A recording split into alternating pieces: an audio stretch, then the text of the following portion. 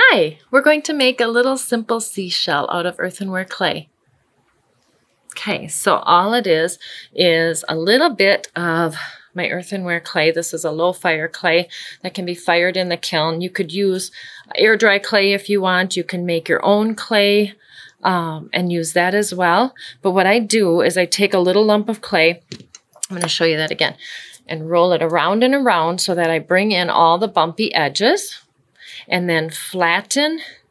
See how I'm just turning and rotating it in my fingers because my fingers this way are kind of softening this edge. My fingers this way are flattening it as I'm rotating it. And I'm kind of giving it just a slight shallow dish shape while I'm doing that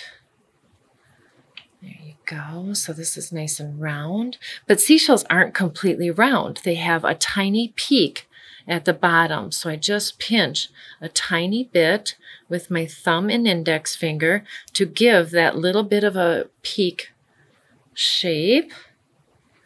And then I'm going to attach a really small rectangular shape. So by squeezing front and back with my thumb and index finger of my right hand, and then squeezing with my thumb and index finger of my left hand at the same time, that automatically gives a little rectangular shape.